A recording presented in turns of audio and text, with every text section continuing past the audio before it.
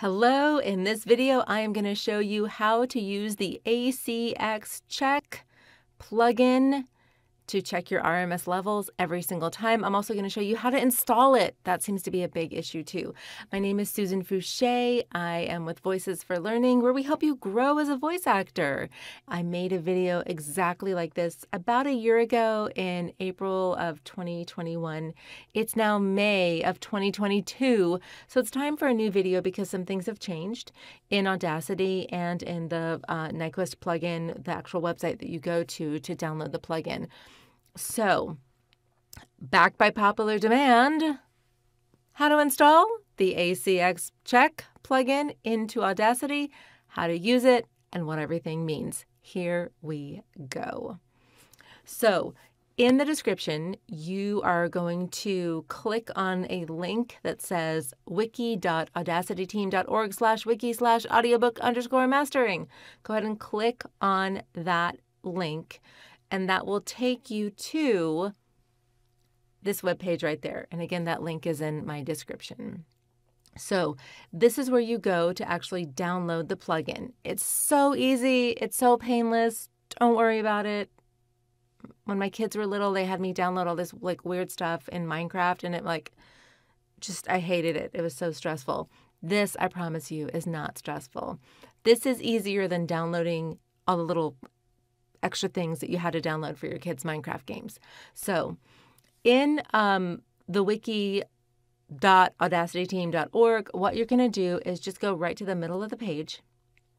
Over on the left hand side, you're going to see Get and Install ACX dash Check. Just go ahead and click on that, and it's going to move you to a new page. And you are going to click on the download link up here in the upper left hand corner. It's acx dash check.ny. NY stands for Nyquist, which is just the um, kind of like program that we use in Audacity to get the plugins to actually talk to Audacity. So you're just going to click on the link download next to that. And I am using Google Chrome. You may be using a different browser. In my browser, my downloads come to the bottom of the page. So um, just check where your downloads are. All I'm going to do is just look in the folder, look in my downloads folder, and there it is acx-check.ny. You don't need to do anything. You don't need to click on anything. Don't do anything just yet. We're just making sure that it actually is there, which it is. The next step that I want you to do, you can minimize your downloads folder or you can even just close it. Um, the next thing I want you to do is go ahead and open up Audacity. And what we're going to do is install this plugin into Audacity. It's so easy. It's so painless. Don't worry, don't worry, don't worry. Go ahead on into Audacity. And I've actually already got like a little recording in Audacity ready to go to check it. So uh, what we're going to do is install the plugin first. To do that, go to your Tools menu up here at the top, Tools, and then you're going to go down to Nyquist Plugin Installer down towards the bottom. Just go ahead and click on that. And then it's going to ask you to select the files to install. So you're going to click on your Browse button over here on the right. Click on the Browse button. And it should pop up into your downloads folder. If it doesn't go into your downloads folder, that's okay. Just go ahead and click on this PC, or if you're on a Mac, I don't even know what to click on if you're on a Mac. I don't know how those things work. But if you're on a PC, go to just click on this PC, and then you can go into your downloads folder if you don't see it right away. And in your downloads folder, you may have more stuff than me. I just deleted everything that was in my downloads folder, so I only have the ACX check.ny. Just click on that and click on open. Then what you're going to see is the little pop-up window for the Nyquist plugin installer. Now, mine looks a little bit different because I actually was practicing how to do this before I put my camera on record. So yours probably looks like this, where it says, you know, select files to install, acx-check.ny, and then allow overwriting. Yours probably says disallow. We want it to allow overwriting. So check that down arrow, click on that down arrow, and just click on allow. And that's it.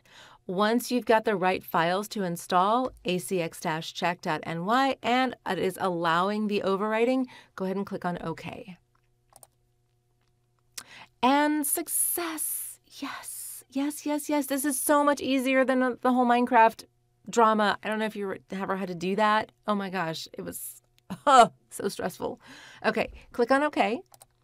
And now we can go ahead and enable this plugin. So this is a new step. Um, this is a new step. I actually I upgraded my computer uh, about five months ago, reinstalled everything, and so I realized that there's actually another step involved in this whole process of uh, this ACX uh, plugin, ACX check plugin. So what you're going to do to actually use it and to enable it is go to the Analyze menu up here at the top, Analyze, and then you're going to go down to Add, Remove Plugins up here at the top. Now, you'll notice that the ACX check up here at the very, very top, it's alphabetized. So you'll see it says the state is disabled. What we want to do is enable it. So you've probably figured out how to do that already. Just click the ACX check. Just make sure it's selected, it's in blue. Click on Enable, the little button down there at the bottom above OK. Click on Enable, and it's enabled. And then just go ahead and click on OK. And then you can use the ACX check plugin. To use it, just go to Analyze, and oh my gosh, there it is. But hang on a second. Before you click on ACX check, make sure that your audio is actually selected. So you can either like highlight a, a section of it, or you can just click on um, to the left, whatever that is called, thing, the track, to select it all, and then go to Analyze again up at the top, down to ACX check. Boom. And there is the ACX check. What it's checking, let me explain what all these numbers mean. Well, hang on a second. If you already know what these numbers mean, awesome, great, thanks, see you later. But before you go, um, check out in the comments. I've got a really, really, really great uh, offer for a ACX online course that you can do at your own pace. If you're having trouble booking audiobooks, winning auditions, um, if you're not really sure what you're doing with ACX, this course, the ACX course, is so, so, so powerful and so valuable and so good. Be sure and check it out. Um, it was done by my friend Anthony Pica. He is amazing. He has just a great way of teaching things. And um, check that out. I think you'll enjoy it if you purchase it. It's so affordable and so worth it. All right. So, for those of you who are staying because you want to know what these numbers mean, thank you very much. Okay. Here's what these numbers mean. So the main things that we want to look at, first of all, the peak level, negative 3.30 decibels. It passed. If it doesn't pass, it's going to say fail. You didn't pass. Um, so the peak levels need to be on ACX, they need to be at negative 3 or less. So remember, we're dealing in negative numbers. So like a negative 4 is less than a negative 3. So it needs to be less than a negative 3. So if you're at a negative 2 or a negative 1 or a 0, honey, you're not going to pass because the negative numbers, that means it's loud. It's too loud. Most people listen to audiobooks using earbuds. If the peak levels are greater than negative 3, honey, you're going to blow your listeners' eardrums out. So we need to be kind to our listeners' eardrums. The peak levels need to be at a negative three. That's what human beings can can tolerate. So um, negative peak level at negative three. That's a pass. RMS levels. Your RMS level is just uh, root mean square. It just basically means like when we take like the mean, like the average of all of the all of the volume levels, the average, the mean needs to be about negative 20. That's what human beings, again, can tolerate. If it's too loud, again, you're going to blow their eardrums out. If it's too soft, they can't hear it. So the RMS levels need to be between negative 18 on the high end and negative 23 on the low end. So somewhere in the middle. So negative 20 is really like the perfect RMS level. Mine for this one is at 19, negative 19.19. That's fine. That that works. I'm not going to blow my listeners' eardrums out and they're going to be able to hear it. We are good to go. So that's what that means. Those are the numbers that you need. The noise floor level. A lot of people have trouble with the noise floor level.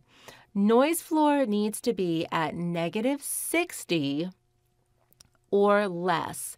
And the noise floor is just basically your room tone.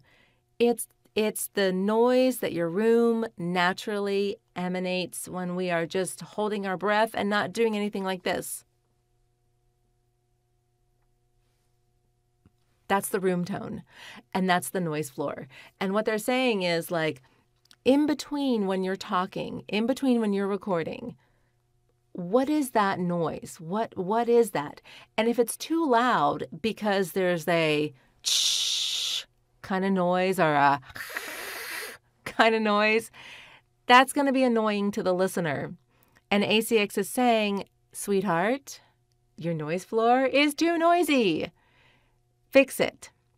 And there are a ton of YouTube videos out there about how to fix this using this great handy dandy program called iZotope RX. Oh my gosh, you can buy it for like 30 bucks. $30 and it will take out the noise floor level. It is such a wonderful investment. iZotope RX. Learn how to use it if you're having issues with the noise floor. So if your noise floor is at negative 50, that's too loud. That's not going to work. The noise floor needs to be at negative 60 or less. Mine is at negative 90. And it's actually giving me a warning saying it's too low. The dead silence sounds unnatural. Well, ACX check, I beg to differ with you. My audio sounds good. So, negative 90, I think, is actually good for me. Um, negative 60 is about where they want it at, you know, but it, it, it will pass. I mean, at negative 90, it will pass. So I am not even going to worry about it. Again, if you're having trouble with your noise floor level, if it's at like negative 40, negative 50, negative 55, anything louder than negative 60, invest in iZotope RX. I promise you, $30 for $30. You can fix all this noise floor drama, be done with it, submit your files to ACX, and make some money. So that's what these levels mean peak level, RMS level, noise floor level.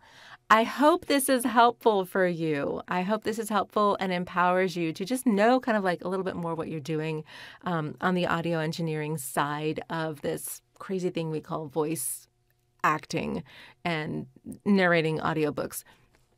There's a lot to it, I understand, and it can drive you crazy. So, hopefully, this is like lessening your stress level quite a bit. So, have a great day. If you liked this video, give me a thumbs up. If you found it valuable and you want to see more, subscribe to my channel for crying out loud. I'm a growing channel. I could use your support. Have a great day. Can't wait to see you next time. Bye.